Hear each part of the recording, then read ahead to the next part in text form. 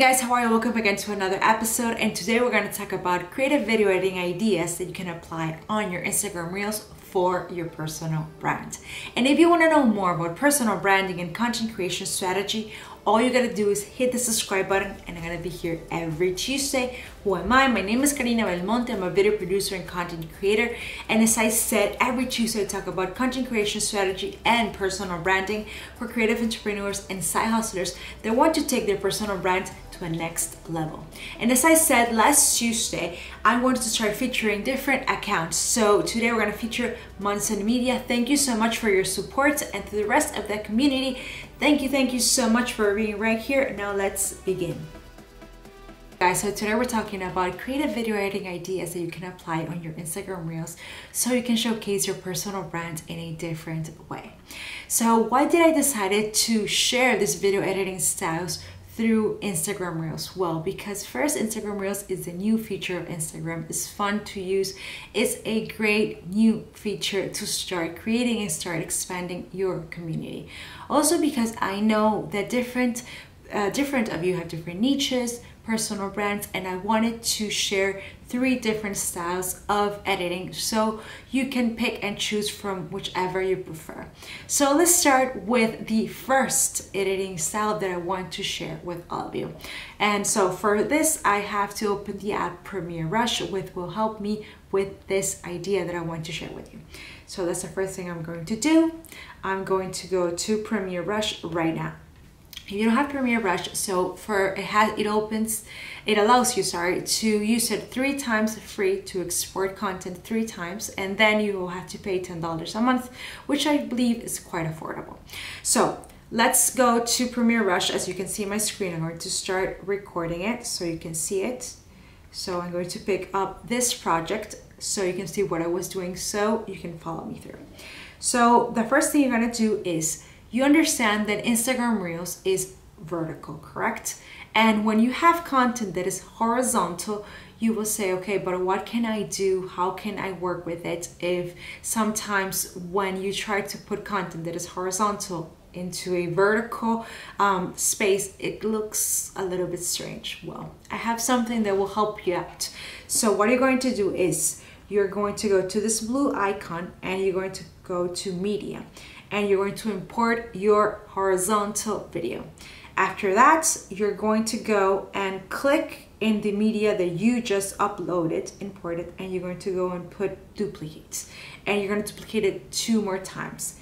This will help you to cover the complete, the complete um, board of reels. This is showing you that this will look like your reels and where you're going to export it, it's going to look exactly like the size of your reels. So what options do you have? You can put from one video to start first and the other two. So it will look very, very cool like it's showing you right now. You can make them that all start at the same time. Or you can just choose different themes. So this is an idea so you can reuse the content that you filmed horizontally and put it on your reels. This is just an idea that I want to share with you how you can do it very cool, very nice. Also, you can apply this for your YouTube videos that you have recorded in the past. So you have your YouTube videos, they're horizontal, you don't know what to do with them, you don't know how to put them on Instagram Reels. You can do the exact same thing that I'm doing with this content. You go to the blue icon, you import it with media, and you I'm going to go to another project you're going to see and you're going to see a YouTube video that I recorded in the past and how it looks. So I'm going to move it very slowly and you're going to see how nice it looks uh, reused content. You see, it looks very nice. So that was style number one that I want to share with you. So style number two is cutting through actions. I do this a lot. I have done this a lot in the past with other reels. So I'm going to show you one of the reels that I already did. So I'm going to go to my Instagram, I'm going to go to my Reels. And this one was one that I did last week.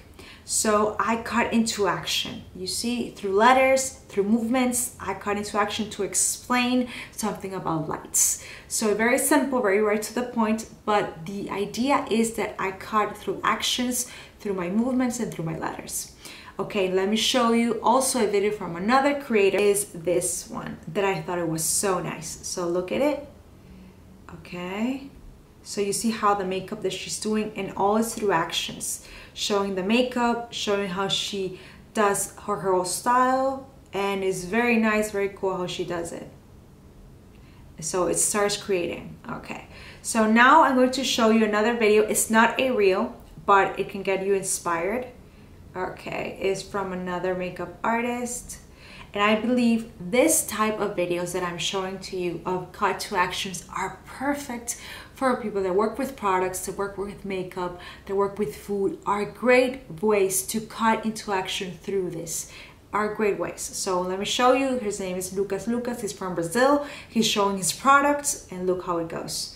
So it's a great way to showcase your product, what you do in a creative way. This is called cut into action style. The last one that I wanted to share with you is that you integrate a picture and a video. So you can do it in 50 seconds and it's very fun, it's very cool. I did in one of my reels, explain a transition from photo to video, photo to video, and it looks fun, dynamic, and you can do it. I'm going to show you another creator that I saved over here. And this is her. Okay, so it's a lot of fun. This is great for fashion, also for um, movement, and for people that are in fashion, this is great, as I was saying. Okay, so I'm gonna click here and look, she's talking about how to pose with shorts. So you see she showcases and looks that, looks here, and picture, and then picture. So what I wanted to show you with this editing styles, let me stop here, what I want to show you with editing styles is that you can get as creative as you can. You can share whatever you can and just integrate the three of them if you want to or try them on. But it's just start making them. Start see if your personal brand can work with any of these video editing styles. They're creative, they're fun, and at the end, you just try them and you'll have a lot of fun doing them.